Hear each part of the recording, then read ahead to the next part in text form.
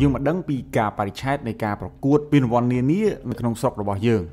ស្ថិតក្នុងពេលនេះដែរការប្រកួតប្រជែងលំដាប់ថ្នាក់ជាតិរបស់យើងគឺការប្រកួតកំពុងតែមមាញឹកជាមួយនឹងពានរង្វាន់ League Cup សម្រាប់ក្លឹបអាជីពហើយការប្រកួតពានរង្វាន់ League Cup នេះគឺបានឈានដល់វគ្គពាក់កណ្ដាលផ្ដាច់ព្រាត់ហើយសម្រាប់ការប្រកួតផ្ដាច់ព្រាត់នោះគ្រោងធ្វើឡើងនៅថ្ងៃទី4ខែ6ពលគឺនៅសល់មិនដល់មួយខែទៀតទេដែលការប្រកួត League Cup នឹងស្វែងរកឃើញម្ចាស់ជើងឯកថ្មីសម្រាប់រដូវកាលថ្មីនេះ មួយវិញទៀតយើងក៏មានការប្រកួតពានរង្វាន់បើករដូវកាលដែរដែលនោះគឺជាការប្រកួត Super Cup ការប្រកួត Super Cup នេះគឺជាការប្រកួតរវាងក្រុមម្ចាស់ជើងឯកពានរង្វាន់សម្ដេចវិសាខាប៉ះគ្នាជាមួយនឹងក្រុមម្ចាស់ជើងឯកលីកកម្ពុជាកម្ពុជាផងដែរនោះគឺបានន័យថាវិសាខាគឺត្រូវប៉ះជាមួយនឹងភ្នំពេញក្រោនការបរិច្ឆេទនៃការប្រកួតគឺនៅថ្ងៃទី